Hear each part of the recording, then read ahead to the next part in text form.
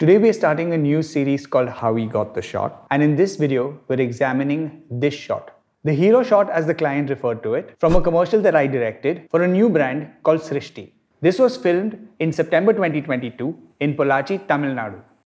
So we arrived in Pollachi after a flight from Mumbai and a long drive from Coimbatore and we decided to go directly to the location of the shoot. When we arrived, I was absolutely blown away by this lake. I was amazed by the fact that this beautiful place was just a few hours away from Mumbai. Yes, a plane ride and a car ride was involved, but still, this didn't require a passport and visas, which as an Indian, I'm absolutely grateful for. I looked at this water and depending upon whether there was a breeze or not, the surface looked completely different. If there was a breeze, it rippled across the water. If there was no breeze, the still water looked like a mirror and allowed us to take dramatic shots without making too much of an effort. Nature is a big part of the branding for this campaign and I wondered what it would look like if we got a shot of the bottle floating on the surface of this water. So the next step was to figure out exactly how to achieve this effect. We didn't have a lot of time, but I thought what if we could place a glass platform just below the surface of the water? Would that make it possible for us to get the shot that I had in my head? When I discussed this with the production manager,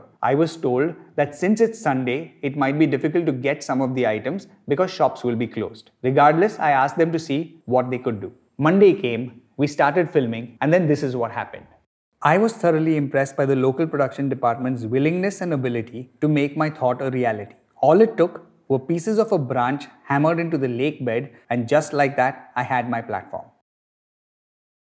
We placed the bottle and this is what it looked like in phone videos. And then this is what it looked like when we shot for the film.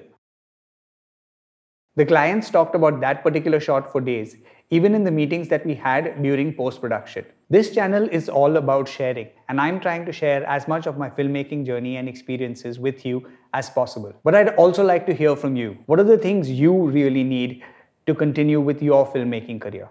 And don't say a producer, because I need that one too. In fact, if you are a producer, please reach out. I'm always looking for collaborators. Please like, subscribe, or leave a comment below. In the meantime, don't be afraid to take the first step in your own creative journey, and before you know it, you will be creating something awesome.